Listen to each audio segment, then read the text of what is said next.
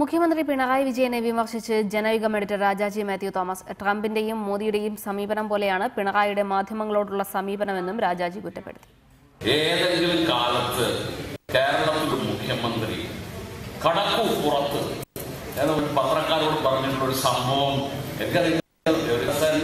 എത്രയോ എത്രയോ പതിറ്റാണ്ടുകളായിട്ട് പ്രവർത്തിക്കുന്നുണ്ട്. ഏതെങ്കിലും ഒരു മുഖ്യമന്ത്രി ഇന്നുവരെ പറഞ്ഞിട്ടുണ്ട്? കടക്കു പുറത്ത്. അദ്ദേഹം വന്നുടനെ തീരുമാനിച്ചൊരു കാര്യം എന്ന് ഇനി പത്രസമ്മേളനം നടത്തണ്ട. ആ പത്രസമ്മേളനം നടത്തണ്ട. ഇനി എല്ലാം ഫേസ്ബുക്ക് വഴി ട്വിറ്റർ വഴി ഓൺലൈൻ വഴി ഒക്കെ നിങ്ങൾക്ക് വിവരങ്ങൾ പത്രക്കാരം വെച്ച് കഴിഞ്ഞാൽ പത്രക്കാരൻ മുഴുവൻ നാട്ടുകാർക്കെല്ലാം പോയിട്ട് മുഖ്യമന്ത്രിയോ പ്രധാനമന്ത്രിയോ ക്യാബിനറ്റോ എടുക്കുന്ന ഒരു തീരുമാനത്തെ കുറിച്ച് ചർച്ച ചെയ്യാൻ പറ്റില്ല. ഒരു പ്രിവിലേജ് പാസ് ആണെന്ന് വേണമെങ്കിൽ വിചാരിച്ചോളൂ. ഒരു പ്രിവിലേജ് പ്രത്യേകിച്ച് ഇവർക്കില്ല. പ്രിവിലേജ് ക്ലാസ് നമ്മൾ കരുതുന്ന ഈ പത്രക്കാർ പോയാൽ ചില ചോദ്യങ്ങളൊക്കെ ചോദിക്കും.